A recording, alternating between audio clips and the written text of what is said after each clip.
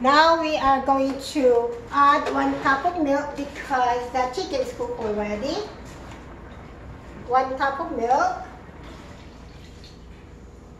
And we are going to add the potato.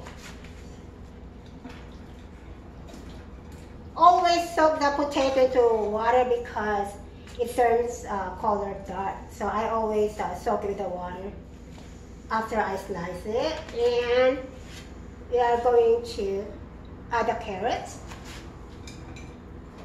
And then wait until they're cooked.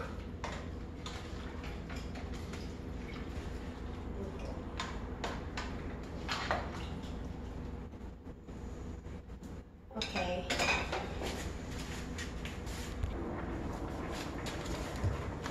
I am going to add this uh, chicken flavor bouillon. This is gonna make it taste uh, taste it good, you know. I always want to have this. And mix it well.